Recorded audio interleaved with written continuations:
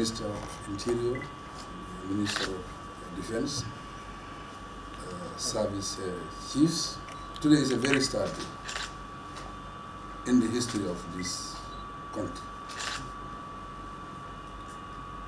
This is very unprecedented. It is shocking and it's very painful. It's something that we are not expecting in this country. But as the minister said, it have happened. It's unfortunate. We have to see how best we can work together so that it will not happen again in this country. We call on these meetings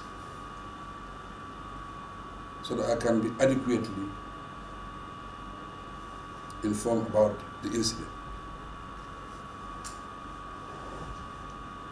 Listening to the security chiefs, they are doing everything possible. And arrests have been conducted. I think they have already progressed with this. I will extend condolences to the families of the deceased and speedy recovery to the female police officers. It's an act of terror. This country is a very peaceful country. But they said one rotten potato spoiled the back. We have few bad elements in this country who want to destabilize this country, to intimidate the police, intimidate the Gambian people, and try to cause confusion. But we will not allow it to happen. As President and Commander-in-Chief, it is my responsibility to make sure that I maintain peace and stability and make sure that all Gambians are secure. And I will not relent to that. I will work with the security and work with the Gambian people so that we can all enjoy the peace and stability of this country. I will call on the general public to come and support the police. The police need your support. Without your support, it will be very, very, very difficult for the police to do their job as expected. It's sad.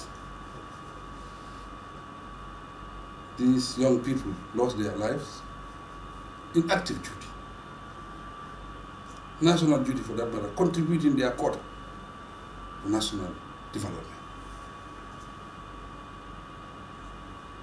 It is a shock to the entire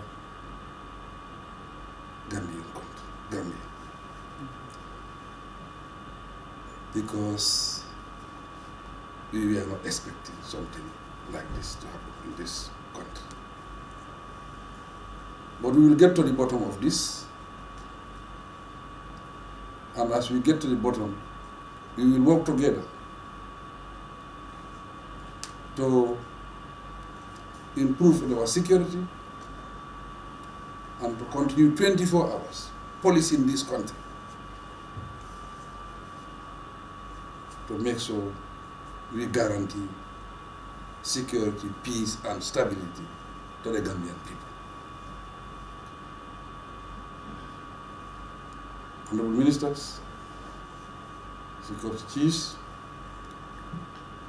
I want you to work day and night to make sure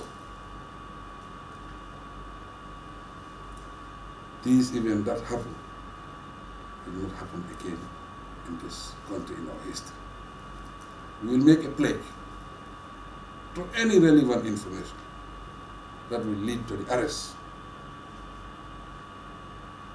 of the actors of this act of terror. We will make a pledge of one million dollars to anybody who lead us to the arrest of this individual. Because we cannot allow our country to be destabilized. to undermine our peace and development. We will not allow that to happen. So, council members, we continue to work 24 hours to make sure that our country is secure. I thank the Gambian people for maintaining peace in this country. And I thank the security forces for the good job you are doing. Keep it up. We are together in this, and it's our responsibility. And we will know from our responsibility. For the families of the deceased, we extend our condolences to them. We'll be with them during these trying times. As we lost our very young officers, very hard-working officers, officers who are doing their best to secure this country. I thank all of you for listening. I'm speaking with a very heavy heart. Very, very disturbed. And really, me, it is a surprise. It's not something that was expecting, especially at this time in the Gambia, as we are approaching the tourism season. Thank you.